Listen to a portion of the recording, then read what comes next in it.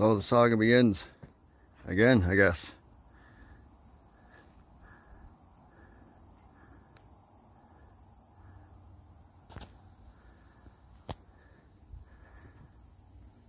Sort out the junk. Got the water off the trailer for the bike. Gonna start working right here.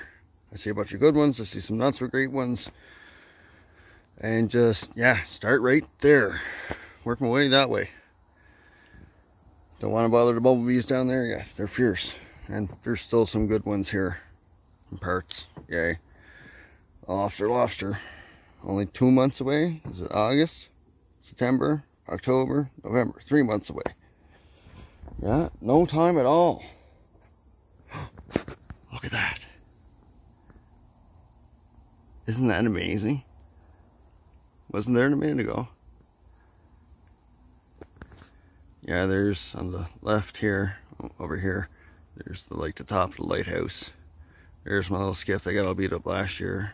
That gray boat there got crushed. You can see the big crack in her rail. That's where Christy G went through the side of her. And Buddy used this here other boat beside it, like a ramp into the bottom of the Christy G.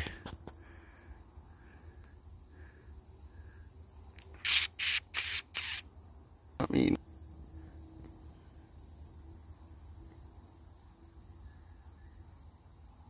Hundred and thirty pound doe.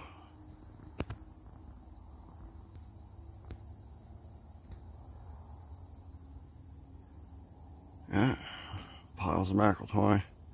Nice day here on the hill.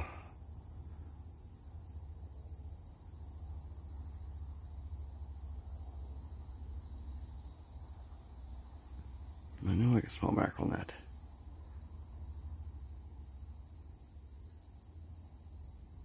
Anywho, these things ain't gonna get themselves done. I'll probably see a few more uh, Bambies around here today. As far as none in the woods there. I've got a couple. Got a couple traps on the, the old rig now. It's not connected to the bike yet. I don't want to get too heavy. Uh, yeah, I knocked over a couple of them. And uh, do you want to name her?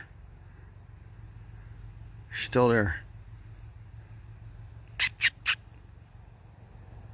Still there.